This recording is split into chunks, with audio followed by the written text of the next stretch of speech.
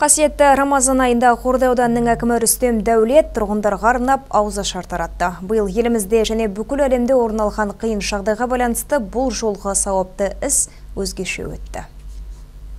Жұқпалы індеттің таралуының алдын алу мақсатында Қазақстан мұсылмандар діни басқармасының төрағасы бас мүфтидің үндеуімен мешіттерде, дәмханаларда, қоғамдық орындарда және тағы да басқа мекемелерде жиналып ауызашар беруді уақытша тоқтату шешімі қабылданған болатын. Сондықтан дін өкілдері карантин күндері әркім өз шаңырағында отбасы мүшелерімен ауызашар өткізіп, көпшілік орындарда жиналмауға шақырды. Осы орайда аудан басшысы да жаңа талапқа құлақ асып, аузы берік адамдарға тамақ тарату арқылы сауапты істі атқаруды ұйғарды. Осылайша аудан тұрғындарына арналып азық-түлік себеттері дайындалып таратылды. Олардың қатарында қадірменді ақсақалдар және ардақты аналар болды.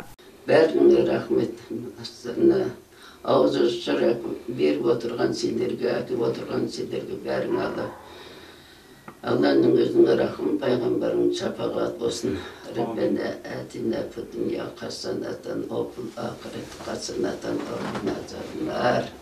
аллам өзің қолда өзің жарыққа аллаху акбар Аталмыш себеттерге ыстық тамақ, тәттілер, жеміс жидек, сусын және өзге де тағамдар салынды. Тамақты таратар алдында аудандық мешітте Құран сүрелері оқылып, ата-бабалар рухына бағышталды. Содан соң Рүстем Рысбайұлы барша мұсылмандардың отбасына амандық, дендеріне саулық тілеп, азық-түлік себеттерді 19 сауылдық округ бойынша жөнелтті. Перизат Қуатқызы, Азат Байтемір, 7-7 Ньюс.